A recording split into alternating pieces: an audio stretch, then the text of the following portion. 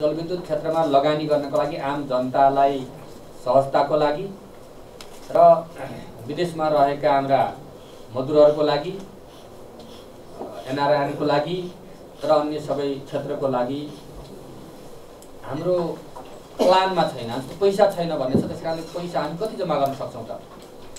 भनेर त्यसलाई एउटा व्यवस्थित योजनामा लगेर कुन आयोजनलाई कति बेला सुरु गरेर कसरी हामी सम्पन्न गर्न सक्छौँ भन्ने व्यवस्थित योजना बनाउनको लागि हामीले एउटा सेयर लगानी प्रतिबद्धता आह्वान गर्नको लागि वेबसाइट तयार गरेका छौँ। प्र प्राविधिक हिसाबले अपग्रेड गर्ने।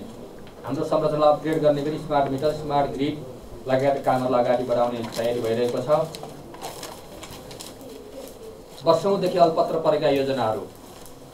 अठार वर्षको दाम ढल्केवर कुनै भइहाल्यो। लगायतका अन्य साना योजनाहरू पनि ती योजनाहरूलाई प्रभावकारी रूपमा अगाडि बढाउने गरी भएर कतिपय जिल्लाहरूमा जारकोट रुकुम र नेपालगञ्ज बाँके लगायत क्षेत्रमा ती योजनाहरूलाई सम्पन्न छिटै सम्पन्न गर्ने गरी अन्तिम चरण पुगेको छ।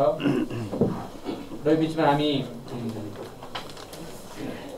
ऊर्जा मन्त्रालयको सिङ्गो टिम ऊर्जा मन्त्रालय नै भने हुन्छ। हामी देशका विभिन्न भागहरूमा अनुगमन अध्ययन र छलफल अन्तर्क्रिया गर्न पुग्यौँ। लोड सेडिङको अवस्था अस्तिको जे अवस्था हो त्यो अवस्थाबाट धेरै डाइभर्ट भएको अवस्था छैन। हामीले त्यसलाई म्यानेज गरेकै छौँ इम्पोर्टको स्थिति हामीले अहिलेसम्ममा तिन सय चालिस मेगावटको हाराहारीमा पिकमा गरिरहेछौँ हिजोको मलाई दिएको डाटा अनुसार तिन सय पैँतिसदेखि चालिस मेगावटको पिक इम्पोर्ट छ।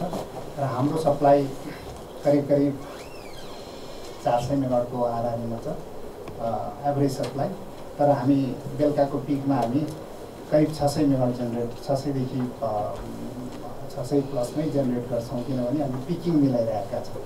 पिकिङ चाहिँ यो कालीगण्डकी मर्स्याङ्दी करिडोरबाट हामीले अलिकति मर्निङमा एडजस्टमेन्ट गर्नुपर्ने कारण पनि के थियो भने मर्निङमा हामीले कालीगण्डकी रिजर्भ गर्नको लागि अरू सप्लाई कालीगण्डकीलाई अलिकति कम चलाउनु पर्ने बेलुकाको पिक चाहिँ एक सय चौवालिस दिनको लागि यो सबै सिस्टम मिलाउनलाई अलिकति मर्निङमा इन्डस्ट्रीहरूको लोडलाई अलिकति एडजस्टमेन्ट गरेको त्यो भएको हुनाले बेलुकाको पिक हामीले मिलाउनको लागि यो सबै एडजस्टमेन्टहरू गरिरहेका छौँ अ, हाम्रो सिस्टममा एभरेजमा चार सय भए पनि हामी छ सय मेगावाट चाहिँ करिब करिब छ सय प्लसमै चाहिँ जेनेरेसन गर्छौँ चुहावटको स्थिति अहिलेसम्मको हाम्रो ओभरअल भन्ने हो भने डिसिएसको चुहावट मात्रै भन्दाखेरि हामीले दुई दुई पर्सेन्ट को हाराहारीमा हामीले घटाउन सफल भएका छौँ भने ओभरअलको अस्तिको चाहिँ चार महिनाको हामीले हेर्दाखेरि क- करिब वान एक पर्सेन्ट एक डेढ पर्सेन्टको हाराहारीमा हामीले ओभरअलमा चुहावट घटाउन सफल भएका छौँ र अहिले हामीले म्यासिभ रूपमा देशव्यापी रूपमै